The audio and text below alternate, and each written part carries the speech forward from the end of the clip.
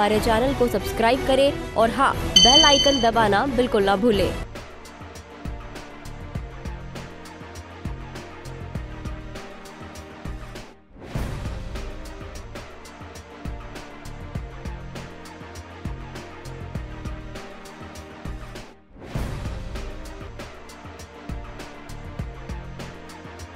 आलू चोरी के शक में भरी पंचायत, दलित समाज के दो लोगों की पिटाई का वीडियो सोशल मीडिया पर हुआ वायरल।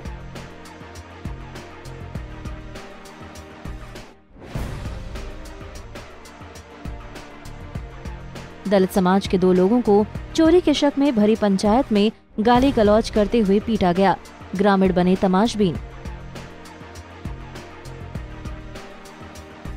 पिटाई का वीडियो सोशल मीडिया पर तेज़ी से हो रहा वायरल। न्याय पाने के लिए दर दर के ठोकरे खाते दलित समाज के पीड़ित दो लोग। दलित समाज के लोगों ने सलेमपुर थाना प्रभारी पर राजनीति के चलते कार्रवाई न करने का लगाया आरोप।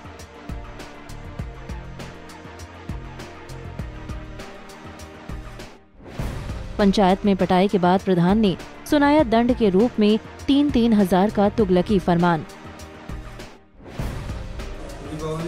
हमारे गाँव में चोर है प्रेम प्रेम नाम का जो आए दिन चोरी करता है उसने एक गाँव में ही आलू खोद दिए। और हमारे गाँव के प्रधान ने एक कलुआ है हमारे गाँव में चौधरी साहब वही प्रधान है भी वाला हारे हुए प्रधान है।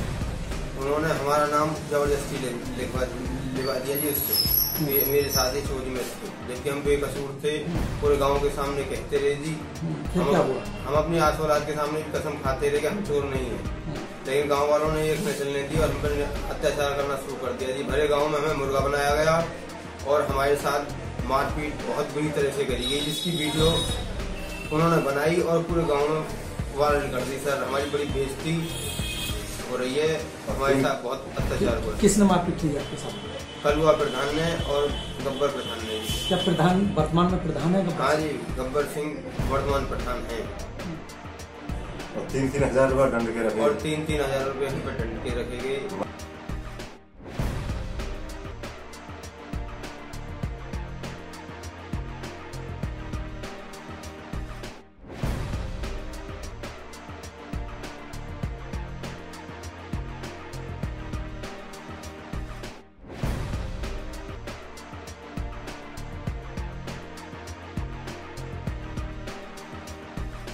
देखिए, दिनांक 10 एक को, इसी महीने में 10 जनवरी को, एक सूचना आईजीआरएस के माध्यम से एक शिकायती पत्र मीनू नाम के व्यक्ति के द्वारा जो बड़ौदा गाँव का रहने वाला है और अनुसूचित जाति का है, उसके द्वारा मारपीट की एक सूचना दर्ज कराई गई थी आईजीआरएस में।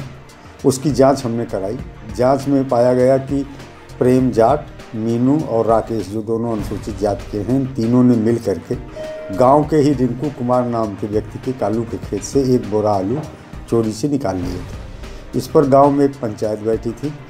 पंचायत में जब मामला सलटने की स्थिति में आया तो जो ग्राम प्रधान था, उसने सलटाने के इरादे से एक एक थप्पड़ मीनू को और राकेश को पीटा। इस बात की शिकायत की गई थी, लेकिन जब जाँच करने के लिए टीम वहाँ पहुँची तो शिकायतकर्ता मीनू कुमार ने बताया कि मैं शिकायत कोई नहीं किया हूँ। हमारे गाँव में एक एवन जाट नाम के व्यक्ति हैं। जो आगामी प्रधानी का चुनाव लड़ना चाहते हैं, उन्होंने हमारी ओर से आईजीआरएस में प्रार्थना पत्र डाल दिया था और उन्हीं के माध्यम से एक वीडियो तैयार किया गया है और हमारा आपस में समझौता हो गया है। एक समझौता नामा भी, जिस पर दस बारह लोगों के हस्ताक्षर हैं। मीनू, जो पीड़ित था कथित रूप से, उसके द्वारा पुलिस को उपलब्ध कराया गया।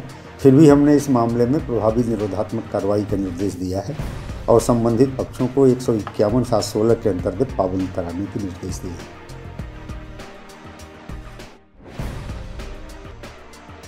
सलेमपुर थाना क्षेत्र के बड़ौदा गाँव का मामला। Editor in chief Iqbal Saifi के साथ Hamid Saifi time 24 news